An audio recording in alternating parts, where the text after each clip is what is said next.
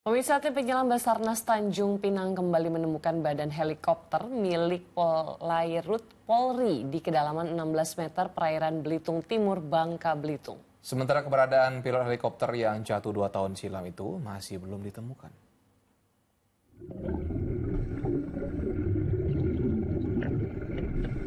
Tim penyelam dari Badan SAR Tanjung Pinang menemukan serpihan bagian badan helikopter BO-105 P-1103 milik Polairut Polri pada kedalaman 16 meter di bawah permukaan laut di perairan Karang 3 Belitung Timur.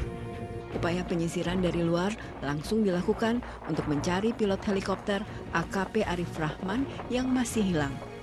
Namun cuaca buruk berupa angin kencang hingga 30 knot dan gelombang tinggi air laut membuat tim SAR memutuskan menghentikan pencarian. Airnya menjadi keruh, terus kemudian mengakibatkan visibility-nya di bawah 1 meter. Kurang lebih tadi hampir 0,5 meter progres untuk visibility.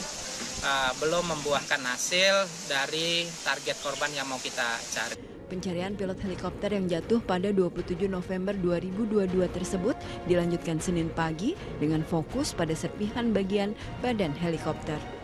Sebelumnya berbekal informasi dari nelayan, tim SAR menemukan serpihan helikopter bagian kokpit Sabtu lalu, sekitar satu nautical mil dari lokasi jatuhnya helikopter. Temuan tersebut sekaligus membuka lagi operasi pencarian terhadap pilot pesawat AKP Arif Rahman yang hilang sejak helikopter tersebut jatuh. Ada Agus melaporkan dari Belitung Timur, Bangka Belitung.